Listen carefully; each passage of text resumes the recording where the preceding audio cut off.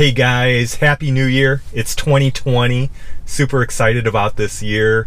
I just loaded up the new Tesla software 10.2 on my Model 3 Performance. Super excited about the new voice commands that are out, but especially excited about the texting capability now.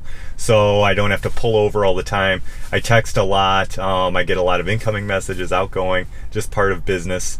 Um, but I always have to pull over to do the texting since it's illegal to do here in Illinois and the fines are pretty steep. Plus, it's dangerous. You shouldn't be texting and driving anyway.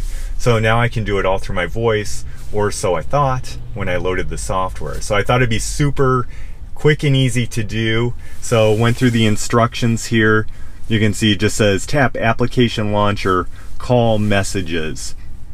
So when I did that, um, that messages function doesn't actually come up. So this call messages, it should be down here on the bottom somewhere, but it doesn't ever pop up.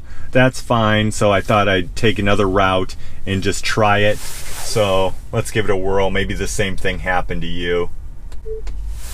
Text Nene. And then your says tap to dictate, tappity tap tap. Uh, nothing happens. Hit that refresh for listening. Ooh, that does something. Let's actually try and send a message. Let's party like it's 1999. Want to send that to Nene? Not happening. So, WTF, Elon? What's going on? This stuff should just work. Come on, man. Um, so I had to kind of play around and do some figuring out. Eventually, I got it to work, and I couldn't really find any tutorials on it, so that's why I wanted to do this video. First thing you're gonna do is go to your Bluetooth settings on your phone and click on the little information icon and click show notifications. So I'm gonna turn that slider on.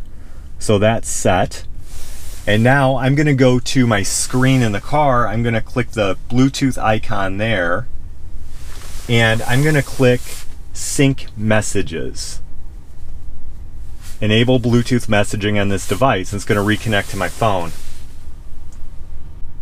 All right, calendar pops up, that's great. Sync messages, so I should be all set. Let's see if it works. Text Nene.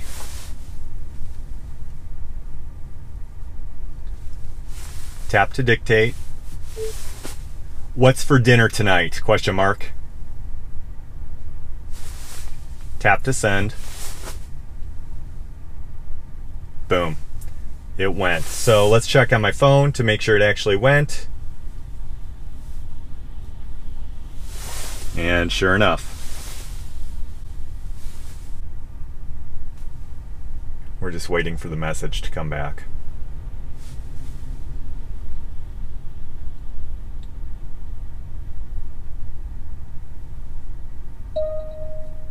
All right, does this pleasant little chime and then tap to read. Neen says boogers. All right, boogers. Mmm, delicious. My favorite. Anyway, um, she's she's a doll. All right, guys. Um, that wraps it up, really. So that's how you hook the whole thing up. Hopefully you guys have good luck with it. Any Android users out there, let me know how it worked for you. Was it all just automatic? Did you have to do more setup with it? I'm just curious. So anyway, have a good one. Have a happy new year. More videos to come. Talk to you soon. Bye.